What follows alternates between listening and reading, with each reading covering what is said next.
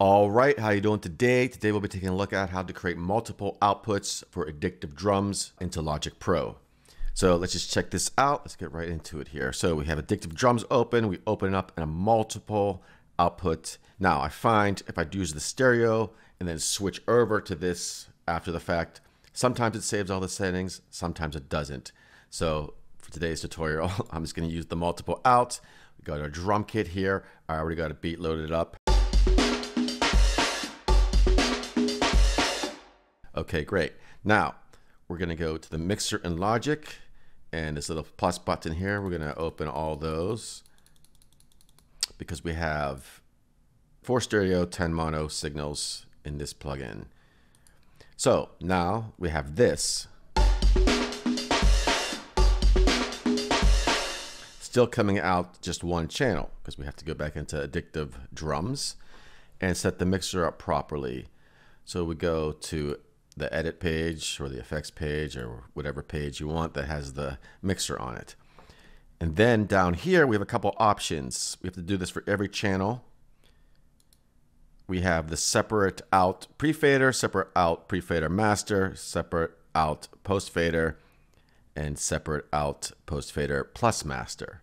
Now, all that mean is, is could be a little confusing, but so the pre-fader and the post-fader are with these faders here.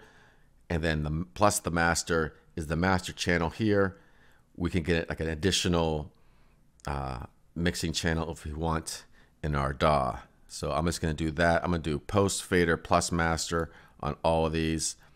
And they just went like that.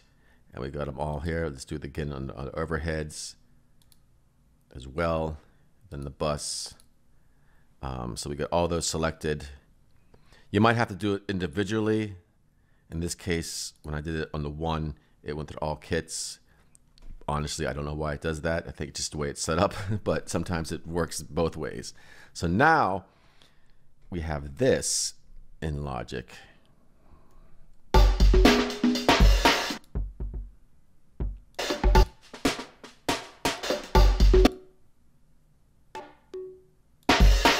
So we have the individual channels selected.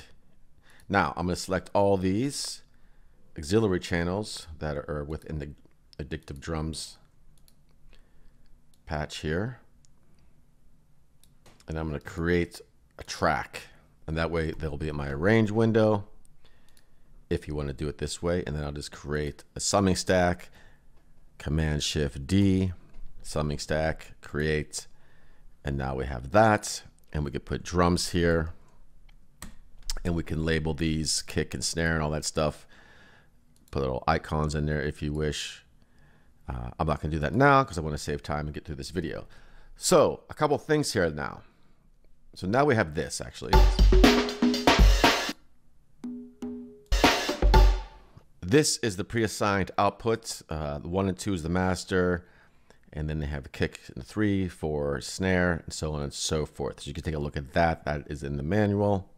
Within Addictive Drums, you could find the manual right here. Click on that. Anyways, so now here's the thing. So the master is instrument one here because I created the track stack. So it's there, and then these are the kicks. So we don't have to use that. But if you want to get crazy and start doing some, you know, whatever extra manipulation of your sounds, you're good to go. Now, a cool thing about Addictive Drums too is when you change the kits, all your routing stays the same, as opposed to like an EZdrummer where it just gets all crazy. But um, let's try that real quick. Let's see if we want to do this Blue Oyster kit here. So we just load that kit up.